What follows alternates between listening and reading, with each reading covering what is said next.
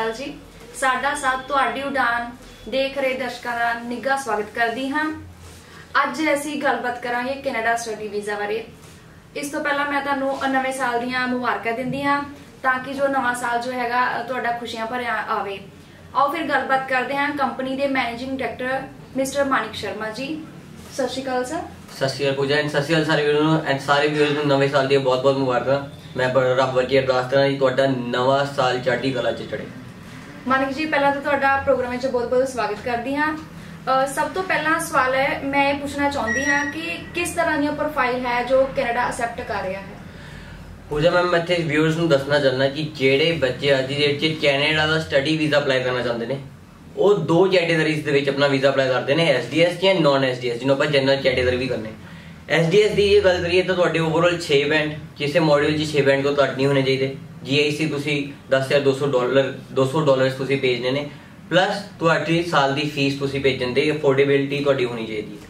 ਇਹ ਕੈਟਾਗਰੀਜ਼ ਦੇ ਬੱਚੇ ਜਿਹੜੇ 12ਵੀਂ ਪਾਸ ਆਊਟ ਨੇ 55% ਨਾਲ ਜਾਂ ਗ੍ਰੈਜੂਏਟ ਪਾਸ ਆਊਟ ਨੇ 50% ਨਾਲ 2018 19 20 ਦੋ ਤੋਂ 3 ਸਾਲ ਦਾ ਤੁਹਾਡਾ ਐਲੀਜੀਬਲ ਗੈਪ ਅਸੈਪਟੇਬਲ ਹੈ। ਜੇ ਤੁਸੀਂ ਗੈਪ ਤੁਹਾਡਾ ਜ਼ਿਆਦਾ ਪੈ ਚੁੱਕਾ ਹੈ ਆਫਟਰ ਗ੍ਰੈਜੂਏਸ਼ਨ 4 ਤੋਂ 5 ਸਾਲ ਦਾ ਬਟ ਤੁਹਾਡਾ ਜਸਟੀਫਾਈਡ ਗੈਪ ਹੈ ਤਾਂ ਵੀ ਤੁਸੀਂ ਇਹ ਪ੍ਰੋਫਾਈਲ ਦੇ ਨਾਲ ਆਪਣਾ ਐਸਡੀਐਸ ਦੇ ਵਿੱਚ ਵੀਜ਼ਾ ਅਪਲਾਈ ਕਰ ਸਕਦੇ ਹੋ।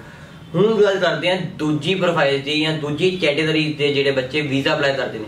ਜੇ ਆਪਾਂ ਉਹਨਾਂ ਦੀ ਗੱਲ ਕਰੀਏ, ਜੇ ਤੁਹਾਡੇ ਓਵਰਆਲ 6 ਬੈਂਡ ਨੇ ਬਟ ਕਿਸੇ ਮੋਡਿਊਲ 'ਚ ਤੁਹਾਡੇ 5.5 ਬੈਂਡ ਰਹਿ ਗਏ ਨੇ, ਤਾਂ ਇਹ ਪ੍ਰੋਫਾਈਲ ਦੀ ਬੱਚੇ ਵੀ ਆਪਣਾ ਕੈਨੇਡਾ ਦਾ ਸਟੱਡੀ ਵੀਜ਼ਾ ਅਪਲਾਈ ਕਰ ਸਕਦੇ ਨੇ। ਤੁਹਾਡੇ 55% ਨਹੀਂ ਨੇ 50% ਨੇ। 50% ਤੁਸੀਂ ਪਲੱਸ 2 ਪਾਸ ਆਊਟ ਹੋ 2 ਤੋਂ 4 ਸਾਲ ਦਾ ਗੈਪ ਹੈ। ਗ੍ਰੈਜੂਏਟ ਹੋ 4 ਤੋਂ 5 ਸਾਲ ਦਾ ਗੈਪ ਹੈ, ਜੋ ਕਿ ਜਸਟੀਫਾਈਡ ਗੈਪ ਹੈ ਬਟ ਆਇਲਸ ਦੇ ਵਿੱਚ ਤੁਹਾਡੇ ਓਵਰਆਲ 6 ਕਿਸੇ ਇੱਕ ਮਾਡਲ 'ਚ 5.5 ਬੈਂਡ ਰਹਿ ਗਏ ਨੇ। ਇਹ ਵੀ ਬੱਚੇ ਨੇ ਜਿਹੜੇ ਕੈਨੇਡਾ ਦਾ ਸਟੱਡੀ ਵੀਜ਼ਾ ਆਪਣਾ ਵੀਜ਼ਾ ਅਪਲਾਈ ਕਰਕੇ ਨਾਨ ਐਸਡੀਐਸ ਕੈਟਾਗਰੀ ਦੇ ਵਿੱਚ ਆਪਣਾ ਕੈਨੇਡਾ ਜਾਣ ਦਾ ਸੁਪਨਾ ਪੂਰਾ ਕਰ ਸਕੇ ਮਾਨਿਕ ਜੀ ਜਿਵੇਂ ਤੁਸੀਂ ਦੱਸਿਆ ਕਿ 5.5 ਤੇ ਬੱਚਾ ਅਪਲਾਈ ਕਰ ਸਕਦਾ ਹੈ ਇਹਦੇ ਵਿੱਚ ਕਿੰਨਾ ਕੀ ਸਕਸੈਸ ਰੇਟ ਹੈਗਾ? ਉਹਦੇ ਮੈਂ ਤੇ ਬੱਚਿਆਂ ਨੂੰ ਦੱਸਣਾ ਚਾਹੁੰਦਾ ਕਿ ਇੱਕ ਰਿਊਮਰ ਹੈ ਜਾਂ ਇੱਕ ਮਿਥ ਬਣਾ ਲਈ ਹੋਈ ਹੈ ਬੱਚਿਆਂ ਨੇ ਕਿ 5.5 ਬੈਂਡ ਨਾਲ ਜਿਹੜੇ ਬੱਚਿਆਂ ਦੇ ਬੈਂਡਸ ਆ ਜਾਂਦੇ ਨੇ, ਕਿਸੇ ਇੱਕ ਮਾਡਲ 'ਚ ਰਹਿ ਜਾਂਦੇ ਨੇ, ਉਹ ਬੱਚਿਆਂ ਦੀ ਵੀਜ਼ਾ ਸਕਸੈਸ ਰੇਟ ਜਿਹੜੀ ਹੈ ਘੱਟ ਰਹਿ ਜਾਂਦੀ ਹੈ ਜਾਂ ਉਹਨਾਂ ਦਾ ਇੱਕ ਮਿਥ ਬਣ ਚੁੱਕਾ ਕਿ ਉਹਨਾਂ ਨੂੰ ਪੋਸਟ ਸਟੱਡੀ ਵਰਕ ਪਰਮਿਟ ਨਹੀਂ ਮਿਲਦਾ ਉਹਨਾਂ ਨੂੰ ਪਬਲਿਕ ਫੰਡਡ ਕਾਲਜ ਜਾਂ ਗਵਰਨਮੈਂਟ ਕਾਲਜਸ ਜਾਂ ਯੂਨੀਵਰਸਿਟੀਜ਼ ਦੇ ਵਿੱਚ ਐਡਮਿਸ਼ਨ ਨਹੀਂ ਮਿਲੇਗੀ ਮੈਂ ਇੱਥੇ ਬੱਚਿਆਂ ਨੂੰ ਦੱਸਣਾ ਜੇ ਤੁਹਾਡੀ ਪ੍ਰੋਫਾਈਲ ਕਿਸੇ ਇੱਕ ਮੋਡਿਊਲ 'ਚ 5.5 ਬੈਂਡ ਰਹਿ ਗਏ ਨੇ ਤੁਸੀਂ ਆਪਣਾ ਨਾਨ ਐਸਡੀਐਸ ਕੈਟਾਗਰੀ ਦੇ ਵਿੱਚ ਵੀਜ਼ਾ ਅਪਲਾਈ ਕਰੋਗੇ। ਇਹ ਮਿਥ ਹੈ ਜਿਹੜੀ ਕਿ ਐਸਡੀਐਸ ਕੈਟਾਗਰੀ 'ਚ ਹੀ ਵੀਜ਼ਾ ਆਉਂਦਾ ਨਾਨ ਨਾਨ ਐਸਡੀਐਸ ਕੈਟਾਗਰੀ ਦੇ ਵਿੱਚ ਵੀਜ਼ਾ ਨਹੀਂ ਆਏਗਾ ਜਾਂ ਨਾਨ ਐਸਡੀਐਸ ਕੈਟਾਗਰੀ ਦੇ ਵਿੱਚ ਤੁਹਾਨੂੰ ਪੋਸਟ ਸਟੱਡੀ ਵਰਕ ਪਰਮਿਟ ਮਿਲੇਗਾ ਇਹ ਮਿਥ ਜਾਂ ਇਹ ਰਿਊਮਰ ਤੋਂ ਉੱਪਰ ਉੱਠ ਕੇ ਤੁਸੀਂ ਸਨਰਾਈਜ਼ ਗਲੋਬਲ ਗੇਟਵੇ ਦੀ ਟੀਮ ਨਾਲ ਰਾਬਤਾ ਕਰੋ। 5.5 ਬੈਂਡ ਇੱਕ ਮਾਡਿਊਲ ਤੇ ਉੱਤੇ ਲੱਗੇ ਹੋਏ ਵੀਜ਼ਾਸ ਨੂੰ ਦੇਖੋ ਤੇ ਆਪਣਾ ਵੀਜ਼ਾ ਅਪਲਾਈ ਕਰੋ। ਆਪਣੇ ਜਿਹੜੇ ਤੁਹਾਡੇ ਸਕਸੈਸ ਰੇਟ ਆਪਣੀ ਪ੍ਰੋਫਾਈਲ ਹੈ ਜਿਹੜੀ, ਉਹਦੇ ਬੇਸ ਤੇ ਤੁਹਾਡਾ ਵੀਜ਼ਾ ਸਕਸੈਸ ਰੇਟ ਹੈ ਸਨਰਾਈਜ਼ ਗਲੋਬਲ ਗੇਟਵੇ ਦੀ ਟੀਮ ਨੂੰ ਤੁਸੀਂ 9276 9275 ਜਾਂ ਜਲੰਧਰ ਆਫਿਸ ਵਿਜ਼ਿਟ ਕਰਕੇ ਜਿਹੜੇ ਨਵੇਂ ਪ੍ਰੋਸੀਜਰ 'ਚ ਪਾਸਪੋਰਟ ਰਿਕੁਐਸਟ ਲੈਟਰਸ ਆ ਚੁੱਕੀਆਂ ਨੇ ਬੱਚਿਆਂ ਨੂੰ, ਜਿਨ੍ਹਾਂ ਦੀ ਅਪਰੂਵਲਸ ਆ ਚੁੱਕੀਆਂ ਨੇ, ਉਹ ਵੀਜ਼ਾ ਦੇਖੋ 5.5 ਬੈਂਡ ਤੇ, ਕਿ ਸਕਸੈਸ ਰੇਟ ਜਿਹੜੀ ਵੀਜ਼ਾ 5.5 ਬੈਂਡ ਤੇ ਆ ਜਾਂ ਓਵਰਆਲ 6 ਮਾਡਿਊਲ 6 ਤੇ ਆ, ਉਹ ਸੇਮ ਹੋਣੀ ਤੁਹਾਡਾ ਰਿਜੈਕਸ਼ਨ ਰੇਟ ਜ਼ਿਆਦਾ ਨਹੀਂ ਹੈ। ਤੁਹਾਡੀ ਪ੍ਰੋਫਾਈਲ ਹੈ ਜਿਹੜੀ, ਉਹ ਹੈ, ਜੇ ਤੁਸੀਂ ਅੱਜ ਤੋਂ 10 ਸਾਲ 8 ਸਾਲ ਦੇ ਗੈਪ ਨਾਲ ਤੁਸੀਂ ਆਪਣਾ 5.5 ਮਿੰਟ ਤੇ ਵੀਜ਼ਾ ਪਾ ਰਹੇ ਹੋ ਵਿਦਆਊਟ ਐਨੀ ਜਸਟੀਫਿਕੇਸ਼ਨ ਉਹੀ ਤੁਸੀਂ 4 ਸਾਲ ਦਾ 3 ਸਾਲ ਦਾ ਜਾਂ 2 ਸਾਲ ਦੇ ਗੈਪ ਨਾਲ 5.5 ਦਾ ਵੀਜ਼ਾ ਪਾ ਰਹੇ ਹੋ, ਆਪਣੀ ਵਿਦ ਜਸਟੀਫਿਕੇਸ਼ਨ ਗੈਪ ਦੀ ਵੀਜ਼ਾ ਪਾ ਰਹੇ ਹੋ, ਤਾਂ ਤੁਹਾਡੇ ਵੀਜ਼ਾ ਦੇ ਚਾਂਸਸ ਜਿਹੜੇ ਸਕਸੈਸ ਰੇਟ ਹੈ, ਉਹ ਕੰਪੈਰੀਟਿਵਲੀ ਅਬਵ ਰਹੂਗੇ, ਜੇ ਆਪਾਂ ਕੰਪੇਅਰ ਕਰੀਏ ਵਿਦਆਊਟ ਜਸਟੀਫਿਕੇਸ਼ਨ ਜੇ ਤੁਸੀਂ ਆਪਣਾ ਵੀਜ਼ਾ ਪਾ ਰਹੇ ਹੋ ਤਾਂ। ਮਾਨਿਕ ਜੀ ਕੁਝ ਸਟੂਡੈਂਟ ਦਾ ਕੁਐਸਚਨ ਹੈ ਕਿ ਫੰਡਸ ਰਿਲੇਟਡ ਕਿ ਕੈਨੇਡਾ ਵਾਸਤੇ ਵੀ ਫੰਡ ਸ਼ੋ ਕਰਨਾ ਪੈਂਦਾ ਹੈ? ਪੂਜਾ, ਤੇ ਮੈਂ ਬੱਚਿਆਂ ਨੂੰ ਦੱਸਣਾ ਹੈ ਜੀ, ਕੈਨੇਡਾ ਜਿਹੜੀ ਨਾਨ ਐਸਡੀਐਸ ਕੈਟਾਗਰੀ 'ਚ ਬੱਚਾ ਵੀਜ਼ਾ ਅਪਲਾਈ ਕਰਦਾ, ਉਹਦੇ ਜੀਆਈਸੀ ਦੇ ਨਾਲ ਐਮਬੈਸੀ ਕਈ ਵਾਰੀ ਆਪਣੇ ਸਟੂਡੈਂਟਸ ਕੋਲ ਐਲੀਜੀਬਿਲਟੀ ਉਹਨਾਂ ਦੀ ਅਫੋਰਡੇਬਿਲਟੀ ਦੇਖ ਲਈ, ਉਹਨਾਂ ਦੇ ਫੰਡਸ ਕਰ ਦਿੰਦੇ। ਜੇ ਤੁਸੀਂ ਜੀਆਈਸੀ ਨਹੀਂ ਭੇਜ ਰਹੇ ਨਾਨ ਐਸਡੀਐਸ ਕੈਟਾਗਰੀ ਦੇ ਵਿੱਚ, ਫਿਰ ਤੁਸੀਂ ਆਪਣੇ ਫੰਡ ਸ਼ੋ ਕਰਕੇ ਆਪਣਾ ਵੀਜ਼ਾ ਅਪਲਾਈ ਕਰ ਸਕਦੇ ਹੋ। ਜੇ ਤੁਸੀਂ ਜੀਆਈਸੀ ਭੇਜ ਰਹੇ ਹੋ, ਫਿਰ ਤੁਹਾਨੂੰ ਫੰਡ ਰਿਕੁਆਇਰਮੈਂਟ ਨਹੀਂ ਹੈ। ਡਿਪੈਂਡ ਕਰਦਾ ਤੁਸੀਂ ਕਿਹੜੀ ਕੈਟਾਗਰੀ 'ਚ ਵੀਜ਼ਾ ਅਪਲਾਈ ਕਰਦੇ ਹੋ। ਜੇ ਆਪਾਂ ਐਸਡੀਐਸ ਕੈਟਾਗਰੀ ਦੀ ਗੱਲ ਕਰੀਏ, ਸਾਨੂੰ ਉਹਦੇ ਫੰਡਸ ਸ਼ੋਨ ਕਰਨ ਦੀ ਲੋੜ ਨਹੀਂ ਹੁੰਦੀ, ਤੁਸੀਂ ਸਿਰਫ ਜੀਆਈਸੀ ਭੇਜ ਆਪਣਾ ਵੀਜ਼ਾ ਅਪਲਾਈ ਕਰ ਸਕਦੇ ਹੋ। ਨੋਨ ਐਸਡੀਐਸ ਕੈਟਾਗਰੀ 'ਚ ਵੀ ਹੈਵ ਐਨ ਓਪਰਚ्युनिटी ਤੁਹਾਨੂੰ ਇੱਕ ਮੌਕਾ ਮਿਲਦਾ ਜੇ, ਤੁਸੀਂ ਫੰਡ ਸ਼ੋ ਕਰਕੇ ਆਪਣਾ ਵੀਜ਼ਾ ਅਪਲਾਈ ਕਰਨਾ ਚਾਹੁੰਦੇ ਹੋ, ਜਾਂ ਤੁਸੀਂ ਜੀਆਈਸੀ ਪੇਜ 'ਚ ਆਪਣਾ ਵੀਜ਼ਾ ਅਪਲਾਈ ਕਰਦੇ ਹੋ। ਇਹ ਡਿਫਰੈਂਸ ਹੈ ਕੈਟਾਗਰੀਜ਼ ਦੇ ਉੱਤੇ, ਤੁਸੀਂ ਜਨਰਲ ਕੈਟਾਗਰੀ 'ਚ ਅਪਲਾਈ ਕਰ ਰਹੇ ਹੋ ਜਾਂ ਐਸਡੀਐਸ ਕੈਟਾਗਰੀ ਦੇ ਵਿੱਚ ਅਪਲਾਈ ਕਰ ਰਹੇ ਹੋ ਵੀਜ਼ਾ ਮੇਰਾ ਅਗਲਾ ਸਵਾਲ ਹੈ ਜੋ ਸਪਾਊਸ ਕੇਸ ਹੈਗੇ ਆ, ਕਿ ਮੇਨ ਐਪਲੀਕੈਂਟ ਦੇ ਨਾਲ ਜਾਵੇਗਾ ਜਾਂ ਫਿਰ ਥੋੜੇ ਟਾਈਮ ਬਾਅਦ ਜਾਣਗੇ? ਪੂਜਾ, ਮੈਂ ਇੱਥੇ ਬੱਚਿਆਂ ਨੂੰ ਦੱਸਣਾ ਚਾਹੁੰਦਾ, ਜਿਹੜਾ ਵੀ ਬੱਚਾ ਆਪਣਾ ਡਿਪੈਂਡੈਂਟ ਨਾਲ ਲੈ ਕੇ ਜਾਣਾ ਚਾਹੁੰਦਾ, ਉਹ ਕੈਨੇਡਾ ਦੇ ਵਿੱਚ ਐਲੀਜੀਬਲ ਨਹੀਂ ਹੈ। ਤੁਹਾਡਾ ਡਿਪੈਂਡੈਂਟ ਜ਼ਰੂਰ ਕੈਨੇਡਾ ਆ ਸਕਦਾ ਬਟ ਤੁਹਾਡੇ ਨਾਲ ਜਿਵੇਂ ਆਸਟ੍ਰੇਲੀਆ ਜਾਂ ਯੂਕੇ ਦੇ ਵਿੱਚ ਟਰੈਵਲ ਕਰ ਰਹੇ ਜਾਂ ਸਵੀਡਨ ਦੇ ਵਿੱਚ ਟਰੈਵਲ ਕਰ ਰਹੇ ਜਾਂ ਡੈਨਮਾਰਕ ਦੇ ਵਿੱਚ ਟਰੈਵਲ ਕਰ ਰਹੇ ਸੇਮ ਪ੍ਰੋਸੀਜਰ ਚ ਕੈਨੇਡਾ ਦੇ ਵਿੱਚ ਤੁਹਾਡਾ ਡਿਪੈਂਡੈਂਟ ਤੁਹਾਡੇ ਨਾਲ ਅਪਲਾਈ ਨਹੀਂ ਕਰ ਸਕਦਾ ਅਪਲਾਈ ਨਹੀਂ ਕਰ ਸਕਦਾ। ਜਦੋਂ ਤੁਸੀਂ ਉੱਥੇ ਚਲੇ ਜਾਓਗੇ, ਉੱਥੇ ਪਹੁੰਚ ਜਾਓਗੇ, ਜਿਹੜਾ ਮੇਨ ਐਪਲੀਕੈਂਟ ਆਪਣਾ ਸਟੱਡੀ ਪਰਮਿਟ ਸ਼ੁਰੂ ਕਰ ਦੋ ਉਦੋਂ ਬਾਅਦ ਤੁਸੀਂ ਆਪਣੇ ਡਿਪੈਂਡੈਂਟ ਨੂੰ ਕੈਨੇਡਾ ਦੇ ਵਿੱਚ ਬੁਲਾ ਸਕਦੇ ਤੁਹਾਡੇ ਨਾਲ ਜਿਹੜਾ ਡਿਪੈਂਡੈਂਟ ਉਹ ਫਲਾਈ ਨਹੀਂ ਕਰੇਗਾ।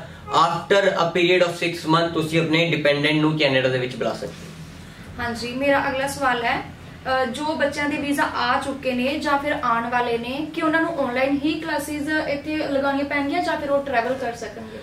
ਪੂਜਾ ਇਹ ਹੁਣ ਜਿਹੜਾ ਤੁਸੀਂ ਸਵਾਲ ਪੁੱਛੇ ਬੱਚਿਆਂ ਨੂੰ, ਜਿਹੜੇ ਬੱਚਿਆਂ ਨੇ ਤਾਂ AIP ਅਪਰੂਵਲਸ ਆਈਆਂ ਸੀ AIP ਅਪਰੂਵਲ ਦੇ ਦੌਰਾਨ ਉਹਨਾਂ ਨੇ ਆਨਲਾਈਨ ਕਲਾਸਿਸ ਲਾਈਆਂ ਜਾਂ ਡੈਫਰਮੈਂਟ ਲੈ ਲਈ, ਉਹ ਬੱਚੇ ਤਾਂ ਆਪਣਾ ਸੇਮ ਪ੍ਰੋਸੀਜਰਸ ਚੱਲੂ ਜੇ, ਹੁਣ ਉਹਨਾਂ ਦੇ ਪ੍ਰੋਸੀਜਰਸ ਚੇਂਜ ਹੋ ਚੁੱਕੇ ਜੋ ਜੀ ਅੱਜ ਦੀ ਗੱਲ ਕਰੀਏ ਤਾਂ 25 ਨਵੰਬਰ 2020 ਤੋਂ ਪਹਿਲਾਂ ਤੁਹਾਡੇ ਬਾਇਓਮੈਟ੍ਰਿਕ ਅਪਾਇੰਟਮੈਂਟਸ ਨਹੀਂ ਅਵੇਲੇਬਲ ਸੀ ਬਟ 25 ਨਵੰਬਰ 2020 ਤੋਂ ਬਾਅਦ ਤੁਹਾਡੇ ਬਾਇਓਮੈਟ੍ਰਿਕਸ ਅਪਾਇੰਟਮੈਂਟ ਸਟਾਰਟ ਹੋ ਚੁੱਕੀਆਂ ਸੀ ਪ੍ਰੈਫਰੈਂਸ ਦਿੱਤੀ ਜਾ ਰਹੀ ਸੀ ਜਿਹੜੇ ਜੀ ਫੈਮਿਲੀ ਵੀਜ਼ਾਸ ਵਾਲੇ ਸੀ ਡਿਪੈਂਡੈਂਟ ਸਪਾਊਸ ਜਾਂ ਚਿਲड्रन ਜਾਂ ਜਿਹੜੇ ਤੁਹਾਡੇ ਸਟੱਡੀ ਵੀਜ਼ਾ ਪਰਮਿਟਸ ਵਾਲੇ ਨੂੰ। 25 ਨਵੰਬਰ ਤੋਂ ਬਾਅਦ ਤੁਹਾਡੀ 30 ਨਵੰਬਰ ਤੋਂ, ਵਿੱਚ ਵਿੱਚ ਤੁਹਾਡੀ ਜਿਹੜੀ ਪ੍ਰੈਫਰੈਂਸ ਇਹ ਸੀ। 2 ਦਸੰਬਰ ਤੋਂ ਜਿਹੜੀ ਸਟੱਡੀ ਪਰਮਿਟ ਦੇ ਬਾਇਓਮੈਟ੍ਰਿਕਸ ਹੋਣੇ ਸੀ, ਉਹਨਾਂ ਦੀ ਅਪਾਇੰਟਮੈਂਟਸ ਵੀ ਸਟਾਰਟ ਹੋ ਚੁੱਕੀਆਂ ਸੀ ਕਿ ਉਹਨਾਂ ਨੂੰ ਹੁਣ ਅਪਾਇੰਟਮੈਂਟਸ ਮਿਲਦੀਆਂ ਪਈਆਂ ਸੀ। ਉਹ ਬਾਇਓਮੈਟ੍ਰਿਕਸ ਹੋਣ ਤੋਂ ਬਾਅਦ ਉਹਨਾਂ ਨੂੰ ਸੈਕਿੰਡ ਵੇ ਜਿਹੜਾ ਸੈਕਿੰਡ ਸਟੈਪ ਸੀ ਪ੍ਰੋਸੀਜਰ ਦਾ ਪਾਸਪੋਰਟ ਰਿਕੁਐਸਟ ਲੈਟਰਸ ਵੀ ਇਸ਼ੂ ਹੋਣੇ ਸ਼ੁਰੂ ਹੋ ਚੁੱਕੇ ਨੇ ਕਿ ਬੱਚਾ ਆਪਣੇ ਪਾਸਪੋਰਟ ਸਬਮਿਟ ਕਰਕੇ ਆਪਣੇ ਵੀਜ਼ਾ ਸਟੈਂਪਸ ਕਰਾ ਸਕਦੇ ਨੇ। ਉਸ ਤੋਂ ਬਾਅਦ ਪ੍ਰੋਸੀਜਰ ਕੀ ਹੈ? ਜੇ ਤੁਸੀਂ ਆਨਲਾਈਨ ਪੜ੍ਹਨਾ ਹੈ ਜਾਂ ਤੁਸੀਂ ਉੱਥੇ ਜਾ ਕੇ ਪੜ੍ਹਨਾ ਇਹ ਡਿਪੈਂਡ ਕਰਦਾ ਹੈ ਤੁਹਾਡੇ ਤੇ। ਜੇਕਰ ਤੁਹਾਡਾ ਕਾਲਜ ਤੁਹਾਡਾ ਡੀਐਲਆਈ ਅਪਰੂਵਡ ਹੈ ਉਹਨਾਂ ਦਾ ਕੋਵਿਡ-19 ਪਲਾਨ ਜੇ ਅਪਰੂਵਡ ਹੈ ਉਹਨਾਂ ਦੀ ਪ੍ਰੋਵਿੰਸ ਤੋਂ ਤਾਂ ਤੁਸੀਂ ਟਰੈਵਲ ਕਰ ਸਕਿਓ ਜੇ ਤੁਹਾਡਾ ਡੀਐਲਆਈ ਜਿਹੜਾ, ਉਹ ਲਿਸਟ 'ਚ ਨਹੀਂ ਆਈ, ਜਿਹੜਾ ਜੀ ਆਈਆਰਸੀਸੀ ਮੈਂਬਰ ਵੈਬਸਾਈਟ ਤੇ ਅਪਡੇਟ ਹੋ ਗਿਆ ਡੀਐਲਆਈ ਅਪਰੂਵਡ ਲਿਸਟ ਜਿਹਨਾਂ ਦੀ ਕੋਵਿਡ-19 ਪਲਾਨ ਅਪਰੂਵਡ ਨੇ ਉਹਨਾਂ ਦੀ ਪ੍ਰੋਵਿੰਸ ਵੱਲੋਂ, ਜੇ ਉਹਦੇ 'ਚ ਤੁਹਾਡਾ ਹੈ, ਤਾਂ ਤੁਸੀਂ ਟਰੈਵਲ ਕਰ ਸਕਿਓ ਟਰੈਵਲ ਕਰਨ ਦੇ ਪਲਾਨਸ ਤੁਹਾਨੂੰ ਕਰਨੇ ਪੈਣਗੇ, ਤੁਹਾਨੂੰ ਆਪਣਾ ਕੋਵਿਡ-19 ਦਾ ਪੀਸੀਆਰ ਟੈਸਟ ਕਰਾਉਣਾ ਪਏਗਾ 72 ਘੰਟੇ ਪਹਿਲਾਂ ਦਾ। ਤੁਹਾਨੂੰ ਆਪਣਾ ਉੱਥੇ ਜਾ ਕੇ 14 ਦਿਨ ਦਾ ਕੁਆਰੰਟਾਈਨ ਪਲਾਨ ਕਰਨਾ ਪਏਗਾ। ਜਿੰਦੇ 'ਚ ਤੁਹਾਡਾ ਪ੍ਰੋਪਰ ਪਲਾਨਡ ਹੋਣਾ ਚਾਹੀਦਾ, ਤੁਹਾਨੂੰ ਜਿਹੜੀ ਨੈਸੈਸਿਟੀਜ਼ ਨੇ ਗਰੋਸਰੀਜ਼ ਦੀ ਫੂਡ ਦੀ ਜਾਂ ਤੁਹਾਡੀ ਮੈਡੀਸਨ ਦੀ, ਉਹ ਤੁਸੀਂ ਕਿੱਦਾਂ ਆਪਣੇ ਪੂਰੀਆਂ ਕਰੋਗੇ? ਕਿਉਂਕਿ ਜਿਹੜੇ ਬੱਚੇ ਉੱਥੇ ਜਾ ਕੇ ਆਪਣਾ ਕੁਆਰੰਟਾਈਨ ਬ੍ਰੇਕ ਕਰੋਗੇ ਐਸ ਪਰ ਲਾਅ ਉਹਨਾਂ ਨੂੰ ਪ੍ਰਿਜ਼ਨ ਹੋਏਗੀ ਜਾਂ ਉਹਨਾਂ ਨੂੰ 7.5 ਲੱਖ ਡਾਲਰ ਦਾ ਫਾਈਨ ਲੱਗੇਗਾ।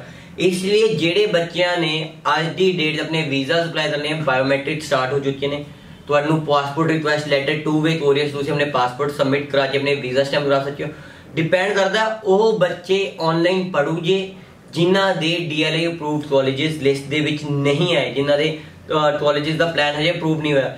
ਜਿਹੜੇ ਬੱਚਿਆਂ ਦਾ ਡੀਐਲਏ ਲਿਸਟ ਅਪਰੂਵਡ ਹੈ, ਉਹ ਬੱਚੇ ਫਲਾਈ ਕਰਨਗੇ ਬੇਸ਼ੱਕ ਉਹਨਾਂ ਨੂੰ 14 ਦਿਨ ਦਾ ਕੁਆਰੰਟਾਈਨ ਕਰਨਾ ਪਏਗਾ ਉਸ ਤੋਂ ਬਾਅਦ ਉਹ ਕੈਨੇਡਾ ਦੇ ਵਿੱਚ ਔਨ ਸ਼ੋਰ ਆਪਣੀ ਸਟੱਡੀਜ਼ ਕਰ ਸਕਦੇ ਨੇ ਬਟ ਉੱਥੇ ਜਾ ਕੇ ਤੁਸੀਂ ਹਜੇ ਜਿਵੇਂ ਕੈਨੇਡਾ ਦੇ ਵਿੱਚ ਲੋਕਡਾਊਨ ਚੱਲ ਰਿਹਾ ਉੱਥੇ ਜਾ ਕੇ ਵੀ ਤੁਸੀਂ ਆਨਲਾਈਨ ਹੀ ਪੜ੍ਹਨਾ ਹੈ ਕਿ ਇਹ ਡਿਸਾਈਡ ਡਿਸੀਜਨ ਸਟੂਡੈਂਟ ਦਾ ਰਹੇਗਾ ਕਿ ਉਹ ਇੰਡੀਆ ਰਹਿ ਕੇ ਆਨਲਾਈਨ ਪੜ੍ਹਨਾ ਚਾਹੁੰਦਾ ਹੈ ਜਾਂ ਕੈਨੇਡਾ ਪਹੁੰਚ ਕੇ ਔਨ ਸ਼ੋਰ ਜਾ ਕੇ ਆਨਲਾਈਨ ਪੜ੍ਹਨਾ ਚਾਹੁੰਦਾ ਹੈ। ਮਾਨਿਕ ਜੀ ਨੈਕਸਟ ਬੱਚਿਆਂ ਦਾ ਇਹ ਵੀ ਸਵਾਲ ਹੈ ਕਿ ਜਿਹੜੇ ਕਿਊਬਿਕ ਨੂੰ ਲੈ ਕੇ ਕਿਊਬਿਕ ਕਾਲਜ ਨੂੰ ਲੈ ਕੇ ਕੀ ਅਪਡੇਸ਼ਨ ਨੇ? ਪੂਜਾ ਮੈਂ ਤੇ ਬੱਚਿਆਂ ਨੂੰ ਦੱਸਣਾ ਚਾਹੁੰਦਾ ਜਿਹੜੇ ਬੱਚੇ ਕਿਊਬੈਕ ਦੇ ਵਿੱਚ ਕਾਲਜਸ ਦੇ ਵਿੱਚ ਅਪਡੇਟ ਕਰ ਰਹੇ ਸੀ 30 ਦਸੰਬਰ ਨੂੰ ਮਿਨਿਸਟਰੀ ਨੇ ਮੀਫੀ ਨੇ ਇੱਕ ਅਪਡੇਸ਼ਨ ਦਿੱਤੀ ਹੈ ਕਿ ਜਿਹੜੇ ਸੀਏਕਿਊਜ਼ ਪੈਂਡਿੰਗ ਚੱਲ ਰਹੇ ਨੇ ਜਾਂ ਜਿਨ੍ਹਾਂ ਦੇ ਅਪਰੂਵਲਸ ਨਹੀਂ ਆਏ ਜਾਂ ਜਿਹੜੇ ਹੋਰ ਨਵੇਂ ਸਬਮਿਟ ਹੋਣੇ ਆ, ਉਹਨਾਂ ਨੇ ਟੈਂਪਰੇਰੀ ਸਸਪੈਂਡ ਕਰਕੇ ਨੇ। ਮੈਂ ਦੁਬਾਰਾ ਰਿਪੀਟ ਕਰ ਰਿਹਾ ਟੈਂਪਰੇਰੀ ਸਸਪੈਂਡ ਕੀਤੇ 31 ਦਸੰਬਰ 2020 ਤੱਕ। ਇਹ ਡਿਸੀਜਨ ਉਹ ਬੱਚਿਆਂ ਲਈ ਹੈ ਜਿਹੜੇ ਹੁਣ ਆਪਣੇ ਸੀਏਕਿਊਜ਼ ਆਪਣੇ ਸਬਮਿਟ ਕਰਨਾ ਚਾਹੁੰਦੇ ਸੀ ਜਾਂ ਜਿਨ੍ਹਾਂ ਦੇ ਹਜੇ ਪੈਂਡਿੰਗ ਅਪਰੂਵਲਸ ਰਹਿੰਦੀਆਂ ਸੀ। ਬਟ ਜਿਹੜੇ ਬੱਚਿਆਂ ਦੇ ਵੀਜ਼ਾਸ ਅਪਰੂਵ ਹੋ ਚੁੱਕੇ ਨੇ ਸੀਏਕਿਊ ਅਪਰੂਵ ਹੋ ਚੁੱਕੇ ਨੇ, ਉਹਨਾਂ ਨੂੰ ਇਹ ਸਸਪੈਂਸ਼ਨ ਦਾ ਕੋਈ ਇਫੈਕਟ ਨਹੀਂ ਹੈ। ਜਸਟ ਜਿਹੜੇ ਹੁਣ ਅਪਲਾਈ ਕਰ ਰਹੇ ਸੀ ਆਪਣੇ, ਉਹਨਾਂ ਲਈ ਟੈਂਪਰੇਰੀ ਸਸਪੈਂਡਡ ਹੈ ਟਿਲ 31 ਮਾਰਚ 2020 ਤੋਂ, ਜਿਨ੍ਹਾਂ ਨੇ ਆਪਣੇ 30 ਦਸੰਬਰ 2020 ਤੋਂ ਬਾਅਦ ਅਪਲਾਈ ਕੀਤੇ ਨੇ। ਉਹਨਾਂ ਤੋਂ ਪਹਿਲਾਂ ਜਿਨ੍ਹਾਂ ਦੀ ਅਪਰੂਵਲਸ ਆ ਚੁੱਕੀਆਂ ਜਾਂ ਜਿਨ੍ਹਾਂ ਦੇ ਆਲਰੇਡੀ ਅਪਰੂਵਡ ਹੋ ਚੁੱਕੇ ਨੇ, ਉਹਨਾਂ ਨੂੰ ਇਸ ਬਾਰੇ ਕੋਈ ਟੈਨਸ਼ਨ ਲੈਣ ਦੀ ਲੋੜ ਨਹੀਂ ਹੈ। 31 ਦਸੰਬਰ ਤੱਕ ਲਿਸਟ ਆਈ ਹੈ 10 ਕਾਲਜਾਂ ਦੀ, ਜਿਨ੍ਹਾਂ ਦੇ ਡਿਫਰੈਂਟ ਕਾਲਜਸ ਦੇ ਨਾਮ ਹੈ। ਤੁਸੀਂ ਆਈਆਰਸੀਸੀ ਸੀਦੀ ਦੀ ਵੈਬਸਾਈਟ ਤੇ ਵੀ ਜਾ ਕੇ ਚੈੱਕ ਕਰ ਸਕਦੇ ਹੋ। ਸਨਰਾਈਜ਼ ਗਲੋਬਲ ਜੈਟਵੇਜ਼ ਦੀ ਟੀਮ ਨਾਲ ਤੁਸੀਂ 92769275 ਦੇ ਰਾਬਤਾ ਦੀ ਲਿਸਟ ਵਿੱਚ ਕਾਲਜਸ ਦੇ ਨਾਮ ਦੇਖ ਸਕਦੇ ਹੋ ਮੌਂਟਰੀਅਲ ਦੇ ਵਿੱਚ ਅਜਿਹੇ ਆਏ ਵੀ ਹੋਰ ਕਾਲਜਸ ਨੇ ਲਾਈਕ ਤੁਸੀਂ ਐਵਲੋਨ ਕਾਲਜ ਲੈ ਸਕਦੇ ਹੋ, ਲਾਲ ਕੈਸਲ ਲੈ ਸਕਦੇ ਹੋ ਇਹ ਕਾਲਜਾਂ ਦੇ ਵਿੱਚ ਤੁਸੀਂ ਹਜੇ ਵੀ ਆਪਣਾ ਮੌਂਟਰੀਅਲ ਜਾਣ ਵਾਲੇ ਬੱਚੇ ਜਿਹੜੇ ਜਾਣਾ ਚਾਹੁੰਦੇ ਨੇ ਕਿਊਬੈਕ ਦੇ ਵਿੱਚ ਆਪਣੀ ਸਟੱਡੀ ਕੰਟੀਨਿਊ ਕਰਨਾ ਹੈ। ਕਾਫੀ ਹੋਰ ਆਪਸ਼ਨਸ ਹੈ ਮਈ ਤੇ ਸਤੰਬਰ ਇਨ ਡੇਟਲੀ ਤੁਸੀਂ ਆਪਣਾ ਵੀਜ਼ਾ ਆਪਣੀ ਮਨਪਸੰਦ ਕਾਲਜ ਦੇ ਵਿੱਚ ਮਨਪਸੰਦ ਕੋਰਸ ਦੇ ਵਿੱਚ ਜਿਹੜਾ ਰੈਲੇਵੈਂਟ ਹੈ ਤੁਹਾਡੀ ਸਟੱਡੀ ਦੇ ਵਿੱਚ ਤੁਸੀਂ ਮੌਂਟਰੀਅਲ ਦੇ ਵਿੱਚ ਓਪਰਚ्युनिटीज ਲੈ ਸਕਦੇ ਹਜੇ ਵੀ।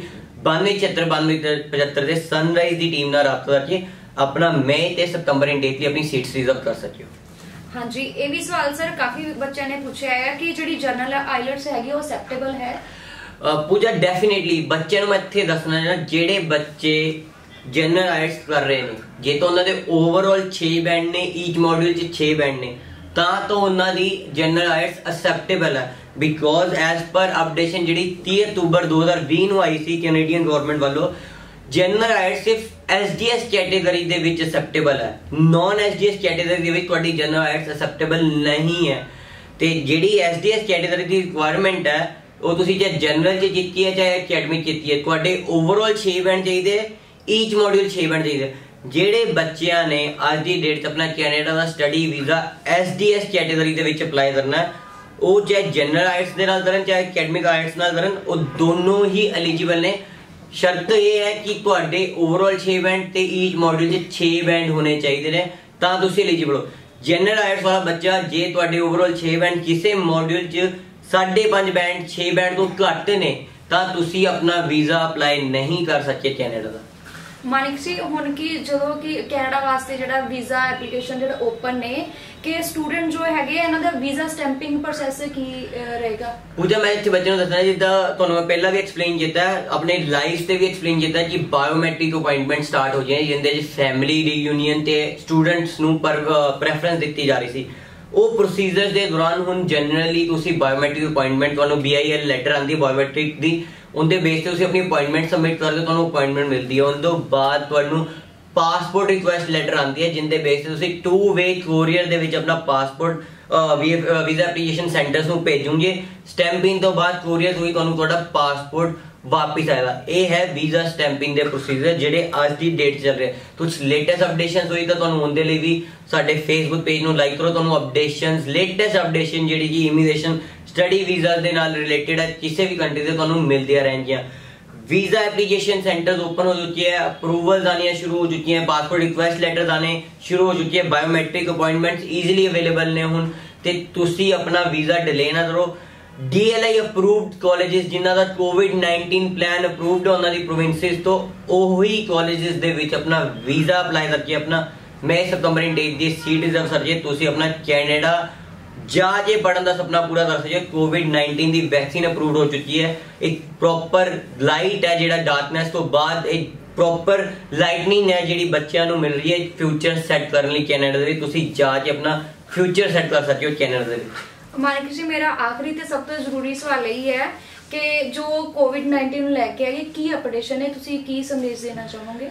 ਬੇਟਾ, ਮੈਂ ਇੱਥੇ ਬੱਚੇ ਨੂੰ ਇਹੀ ਦੱਸਣਾ ਚਾਹੁੰਦਾ ਕਿ ਜਿਹੜੇ ਬੱਚੇ ਅੱਜ ਦੀ ਡੇਟ ਕੈਨੇਡਾ ਜਾਣਾ ਚਾਹੁੰਦੇ ਨੇ ਰੁਕੇ ਹੋਏ ਸੀ ਕੋਵਿਡ-19 ਦੀ ਅਪਡੇਸ਼ਨ ਦਾ ਏਆਈਵੀ ਏਆਈਟੀ ਆਉਣ ਤੋਂ ਬਾਅਦ ਆਪਣਾ ਡੈਫਰਮੈਂਟ ਲੈ ਰਹੇ ਸੀ।